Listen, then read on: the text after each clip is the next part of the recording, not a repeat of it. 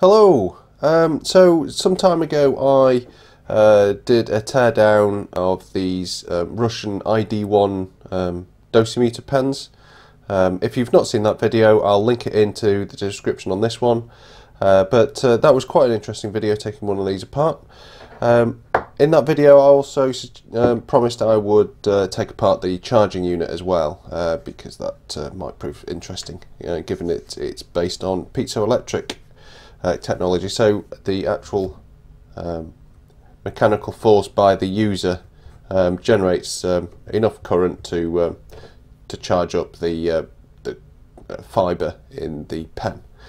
So uh, let's have a quick look around this and uh, we'll take it apart and uh, see what it looks like inside.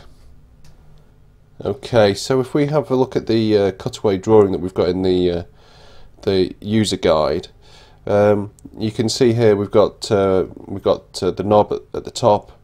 Um, this bit here is the piezoelectric elements. It says there's four pieces um, which are compressed by a lever. So I'm not sure how much of this we'll actually be able to see or whether it'll just be um, a, a, single unit which I would have to take apart further which I'm actually reluctant to do because if I do that I'll probably won't ever be able to charge these um, these pens up. Um, so you've got uh, the charging prong which the pen attaches to, um, the mirror just here, and uh, this device here which is intriguingly called a um, an arrestor. Um, so I'm not quite sure what that is, so uh, that should prove an interesting when, when we come to look at it. Right, so uh, taking a look at this, we've got uh, um, three screws in the top here. We've got a screw holding on the, uh, the knob, and underneath we've got uh, we've got eight screws. Um, and it also looks like there's um, sealing marks in these two screw holes which do actually have uh, some text printed in them. Okay so what I'm going to do is just see what this actually is. It feels it's quite soft actually. I think it's wax so I should be able to get my screwdriver in here.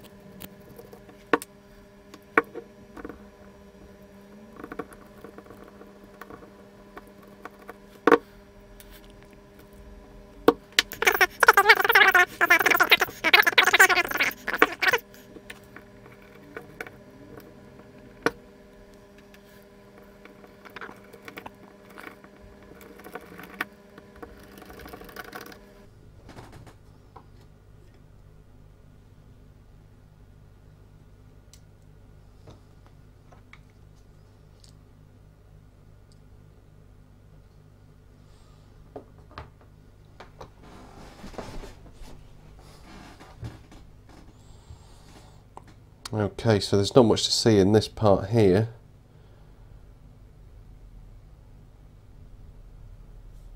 We've got this which is quite solidly mounted in there. Spring electrode. So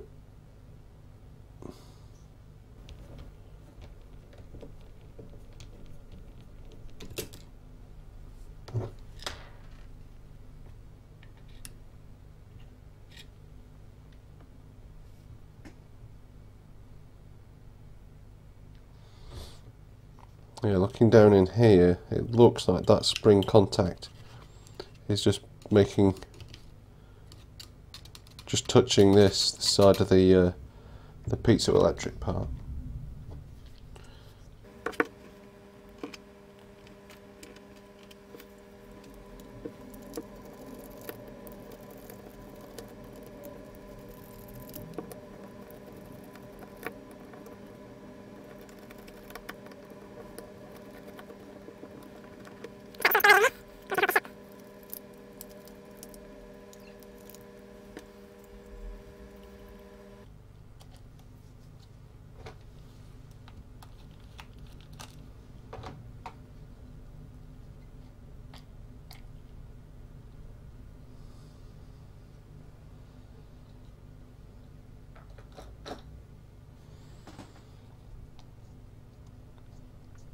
Okay, so we've got a plastic base.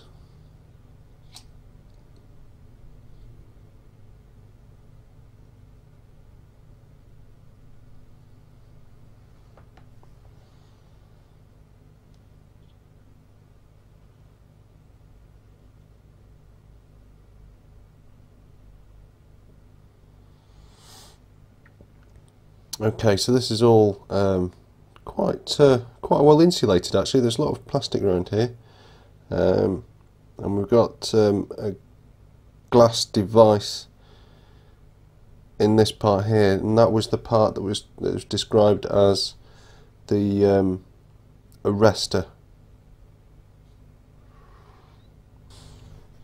Okay, this looks like it's got a cap on it. Right.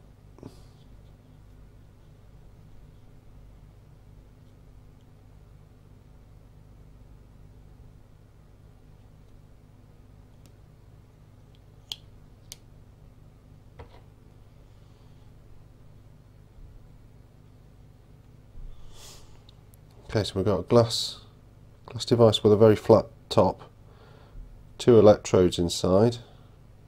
Okay, uh, just taking a, a, close look at this. Um, there's only two connections to it. One is um, um, connected to the the bar that actually goes to charge up the uh, the pen, and um, the other side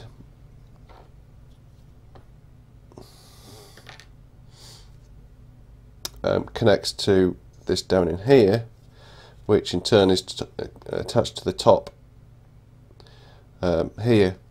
So I think what this is, or what it, I mean, what this looks like inside. There's, um, as I said, there's two electrodes. One is just a plain piece of wire. The other looks like it's a um, a filament from an old um, um, filament bulb. Here you can see, you can should just be able to see a coiled coil above that uh, first electrode.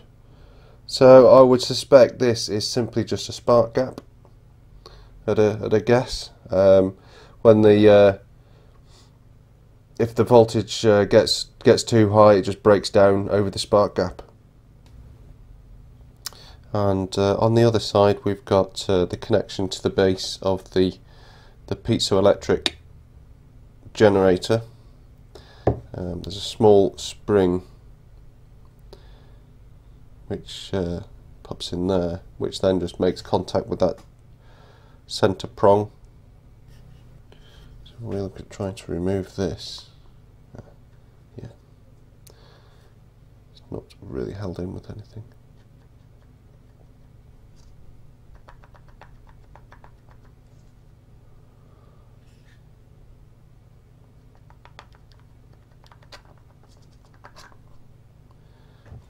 Yeah, and that's something I'd feared. Okay, yeah, so this is a, a metal cylinder. Um, there's obviously a set screw here, uh, probably to hold things in place. There's a, a hex nut here with a thread. So I could potentially take that out and take it apart, but I'm actually, on this occasion, I'm actually reluctant to do that because um, um, I would imagine things like this inside are pretty um, delicate and not really um, conducive for being taken apart and then put back to get back together and expecting it to work. Um, you can see on this centre electrode um, there's uh, some clear insulation around it. So uh, I'm a bit disappointed by that to be honest. I was hoping I'd be able to actually see the piezo um, elements and how they were how they were actually uh, compressed or stressed to gener generate the uh, um, the electrical current to, uh, to charge these uh, these pens, but uh, that's not going to be the case. I am tempted, but um, I actually do want to keep this in a working state for the moment. Uh, but maybe I'll be persuaded otherwise. Right, let me just put this back together.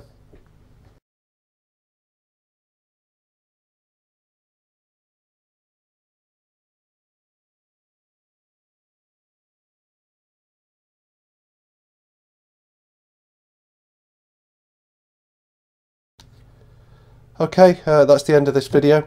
Um, if uh, if there's enough people want me to take apart the piezoelectric device in this um, and, and take it apart properly, extreme teardown style, then um, I might I may do that if there's enough people interested. Um, but um, at the moment, that's uh, that's the end of that one. Um, so if you found this interesting, hit the like button. That's cool. Um, any comments or anything, leave those in the comment section. Um, and I'll see you on the next video.